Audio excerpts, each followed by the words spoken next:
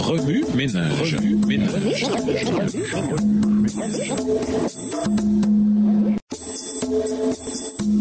Remue ménage. Remue ménage.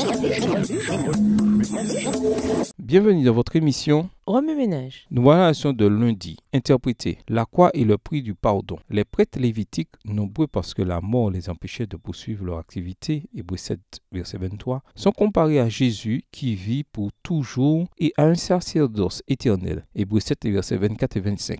Les prêtres lévitiques offraient chaque jour, Hébreu 7, verset 27, et chaque année, Hébreu 9, verset 25, des offrandes et des sacrifices qui ne peuvent pas rendre parfait le cœur de quiconque pratique ce culte. Hébreu 9, verset 9, Hébreu 10, verset 1 à 4. Jésus, lui, s'est offert une fois pour toutes par un seul sacrifice. Hébreu 10, le verset 10 et les versets 12 à 14, qui purifie notre conscience. Hébreu 9, le verset 14. Hébreu 10, les versets 1 à 10, et supprime le péché. Hébreu 9, le verset 26. Le sacrifice de Jésus est supérieur au sacrifice des animaux parce que Jésus est le Fils de Dieu. Hébreu 7, les versets 26 à 28, et parce qu'il a parfaitement accompli la volonté de Dieu. Hébreu 10, les versets 5 à 10. La description du sacrifice de Jésus comme ayant eu lieu une fois pour toutes a plusieurs implications Premièrement, le sacrifice de Jésus est parfaitement efficace et ne pourra jamais être surpassé. Les sacrifices des prêtres lévitiques étaient répétés parce qu'inefficaces, sinon n'aurait-on pas cessé de les offrir parce que ceux qui rendent ce culte, étant une fois purifiés, n'auraient plus eu aucune occasion de leur péché? Hébreu 10, le verset 2. Deuxièmement, tous les différents types de sacrifices de l'Ancien Testament ont trouvé leur accomplissement à la croix. Ainsi, Jésus ne nous purifie pas seulement du péché, Hébreu 9, verset 14,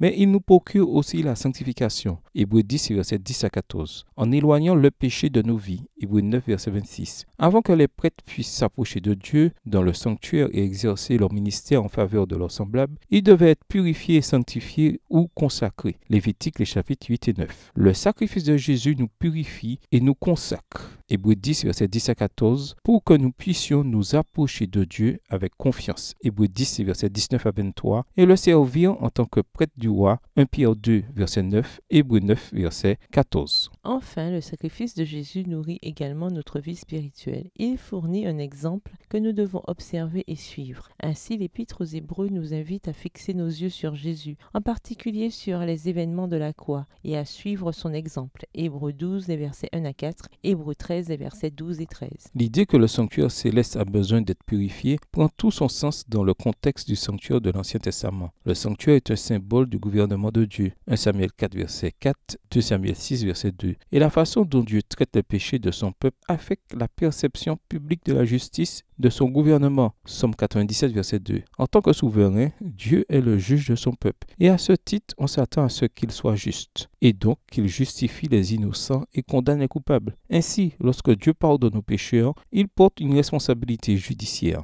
Le sanctuaire qui représente le caractère et l'administration de Dieu est contaminé. Cela explique pourquoi Dieu porte nos péchés lorsqu'il pardonne. Exode 34, verset 7, Nombre 14, verset 17 à 19. L'hébreu original pour pardonner, nos, dans ces versets signifie porter, supporter. Le système des sacrifices dans le sanctuaire israélite illustrait ce point. Lorsqu'une personne demandait le pardon, elle apportait un animal en sacrifice, confessait ses péchés sur lui et l'égorgeait. Le sang de l'animal était versé sur les cornes de l'autel ou aspergé devant le voile dans le temple, dans la première pièce. Ainsi, le péché était symboliquement transféré dans le sanctuaire. Dieu prenait les péchés du peuple et les portait lui-même. Dans le système israélite, la purification ou l'expiation des péchés se faisait en deux phases. Pendant l'année, les pécheurs repentants apportaient des sacrifices au sanctuaire, ce qui les purifiait de leurs péchés, mais du coup les transférait au sanctuaire à Dieu lui-même. À la fin de l'année, au jour des expiations, qui était le jour du jugement, Dieu purifiait le sanctuaire. Il se dégageait ainsi de sa responsabilité judiciaire en transférant les péchés du sanctuaire au bouc émissaire, Azazel, qui représentait Satan. Lévitique 16, versets 15 à 22. Ce système à deux phases, représenté par les deux parties du sanctuaire terrestre, qui était un modèle du sanctuaire céleste, Exode 25 le verset 9, Hébreu 8 le verset 5, permettait à Dieu de faire preuve à la fois de miséricorde et de justice. Ceux qui confessaient leurs péchés pendant l'année montraient leur loyauté envers Dieu en observant un repos solennel et en s'affligeant lors du jour des expiations. Lévitique 16, versets 29 à 31. Ceux qui ne faisaient pas preuve de loyauté étaient exclus du peuple. Lévitique 23, les versets 27 à 32. Oui, Neige, après avoir regardé votre texte écrit et annoté, quels éclairages particuliers vos notes semblent-elles indiquer dans l'ensemble? Quelles questions émergent après l'étude de ce passage? Quelle partie du passage trouvez-vous difficile? Quels autres principes et conclusions découvrez-vous? Que feriez-vous si vous deviez subir le juste châtiment de vos péchés? Comment cette vérité devrait-elle vous aider à comprendre ce que le Christ a fait pour vous? Au revoir. Et à demain si Dieu veut.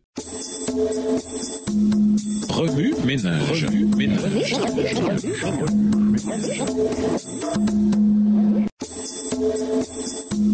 Remue ménage. Remue ménage.